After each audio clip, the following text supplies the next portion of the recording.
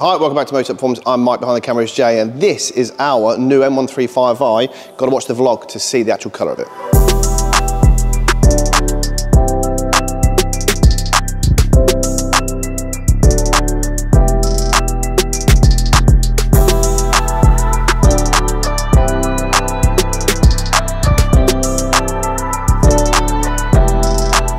So you're probably wondering why we bought another M135i. Purely basis, it's our number one car we see through the door. Over the past six months, I think we've seen close to 50, and I think it was 47 the exact count.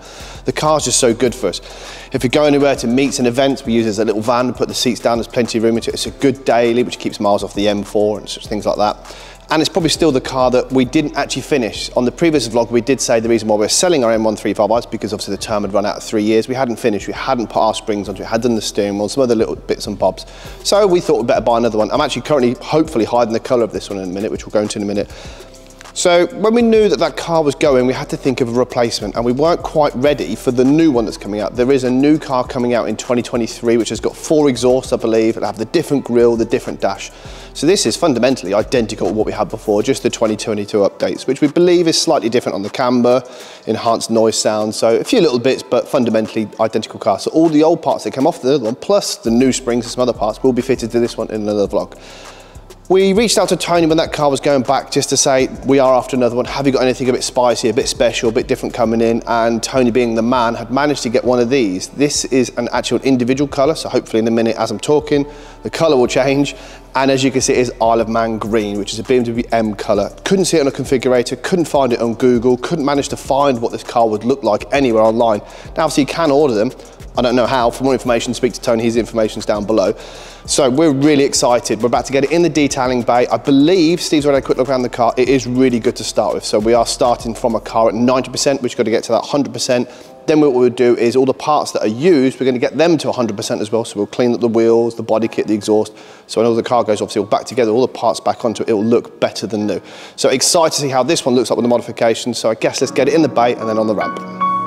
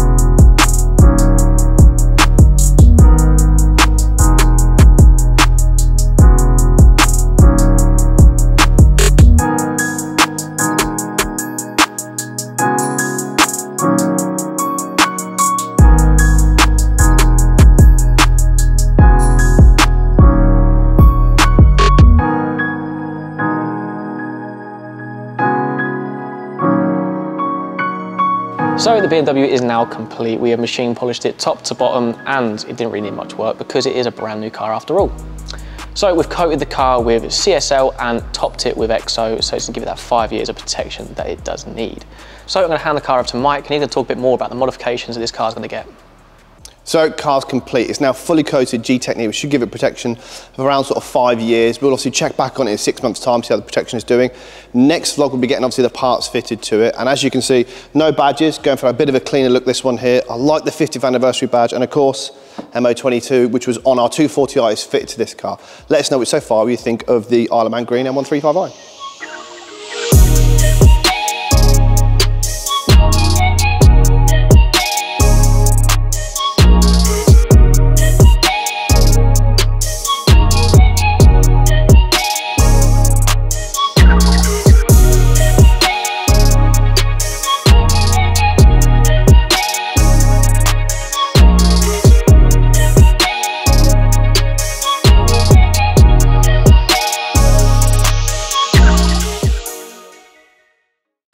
Welcome back to Motech Performance. I'm Mike, behind the camera is Jay. Not talking about this today, our G82 is in a vlog coming soon. We are changing the brakes out. Not talking about this G82 M4, they've had him a complete carbon kit. This car was in a few weeks ago. If you haven't seen that vlog, check it out. We're talking about this. Modifications on our M135i are now done.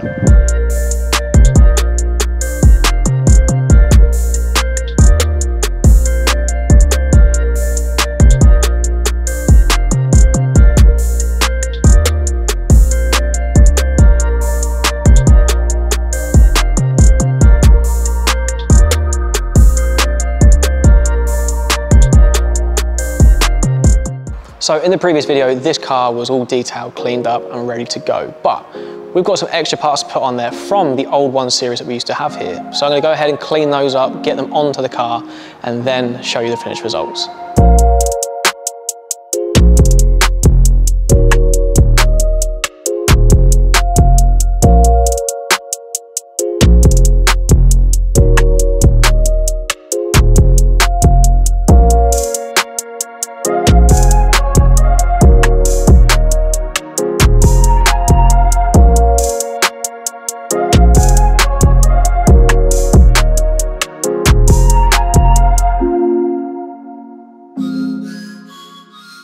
So next day, as you can see, the car looks incredible. I'm over the moon with it. We already knew what it was gonna look like because all the parts come off of our previous M135i in white, so we had an idea of how it would look. But there's an idea of what you think it looks like and actually what it looks like. And this color is stunning. I can't wait to get out on the road. The car's still done no miles. It literally went straight to us, to the detailing bay, onto the ramp and sat here. It's done seven miles. So next time you probably see it in another vlog, it it's done a lot more miles. I'm blown away of how it looks. So things we've done on it, start to finish, so we're going to do a recap of all the previous mods and obviously what we've done to it existingly. So first off, what we've done is change the grille out. The original Cerium Grey grille is actually quite nice and works well on some of the black cars and things like that. But on this green, had to go straight away. Gloss black genuine M performance one with the lower ducts as well, replace those. It's a bumper off job to do it properly, so hence a bit labour intensive, but transforms the car. Fitted our Zero front, sides and rear diffuser. Yet again, they come off of our M135i previously before.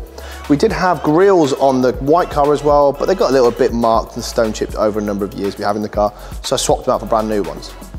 This car, the wheels came across. Steve done a really good job of getting the wheels up to 100%, like he probably explained earlier on the parts come off of a used car. So they were kind of 80%. We have to get them to 100%. So of course, they've gone through a detailing process and then coated in, C in C5 wheel armor. To think about that to protect the wheels.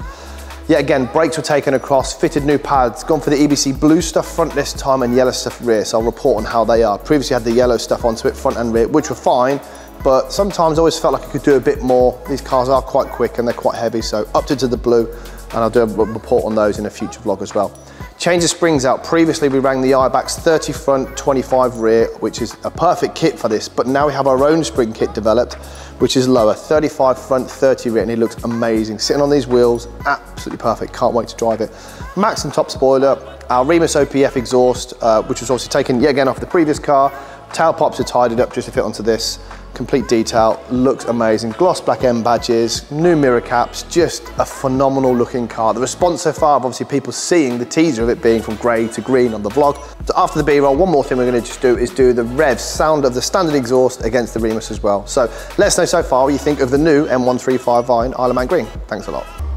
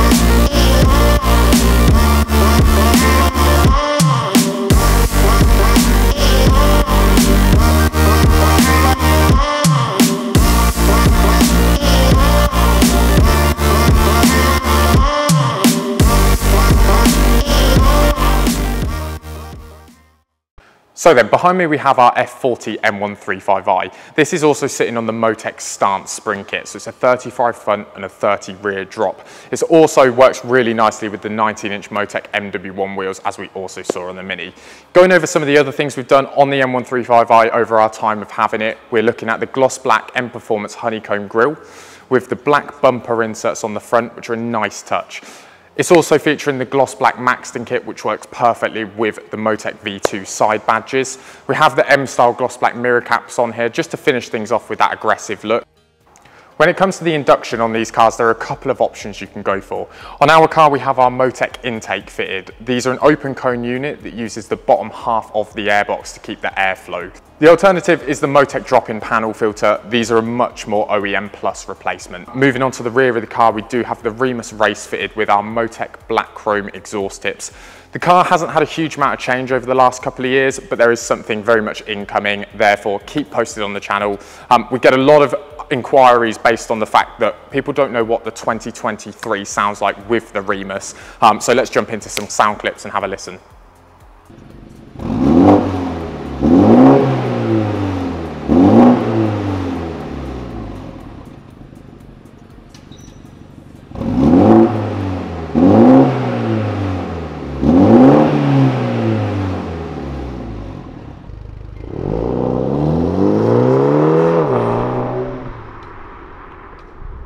Performance, I'm Mike, behind the camera is Jay, and behind me isn't Motech, it's Maxton Designs.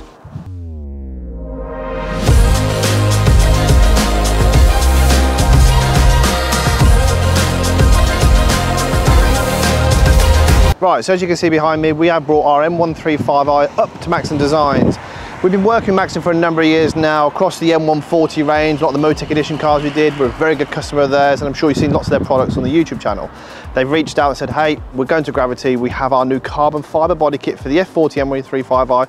Can we do some kind of collaboration, get the car on a stand, bring the car up for some content, get it fitted. So let's go take a look inside and see what the carbon's all about.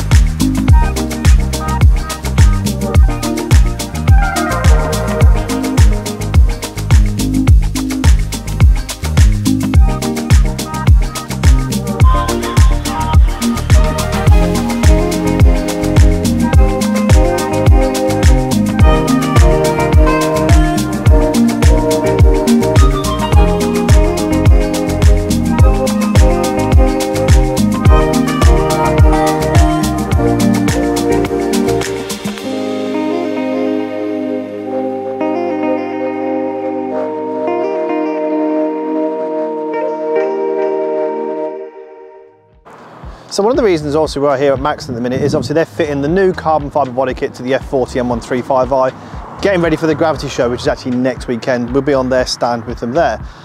Also, this is their new demo car, and of course it'll also be on the stand. This runs their nearly almost finished kit. It's still got no spoiler onto it yet, but of course when it's a Gravity, we'll get some B-roll footage of that in next week's vlog. But we had to just grab the opportunity to grab the car quickly. And as you can see, it has the perfect start, it sits well, 20 inch Vossen wheels, an exhaust to give a bit more sort of sound, and of course their gloss black kit just looks amazing on this car. Yet again, they will be bringing a carbon kit out, but to start off, the gloss black looks perfect on this. So you can see the front, the sides, the rear diffuser, the top winglets across the, um, each side of the, the roof looks really good, quite BMW. If you look back to some of the older CSL cars, that certainly had that from the 70s down the bonnet and of course on the roofs. And of course, there'll be a spoiler to go along with that very soon as well. So, bit of B-roll on this one, and then let's get back inside and see how the F40 is looking.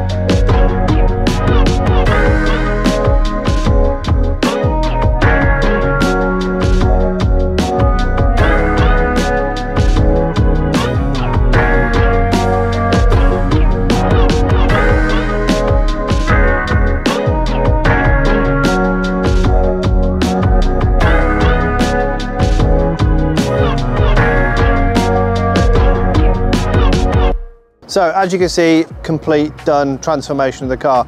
It's nice to be able to see something different on this vehicle.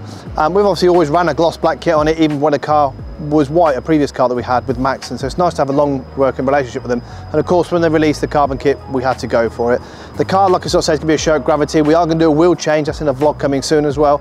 But as you can see, real nice transformation. And it's nice for a manufacturer, not just to do front side skirts and a spoiler diffuser. They've done a bit more. Engine covers, strut brace, seat backs, air ducts, kidney grills. So it's a real nice transformation. Really looking forward to get it back, getting the new wheels fitted to it, get it through the detailing bay and actually getting it looking better than new. So we're excited to get that done. Let us know what you think of the car with the carbon kit on and also let us know what you think of their stunning G87 M2 with the black kit on it.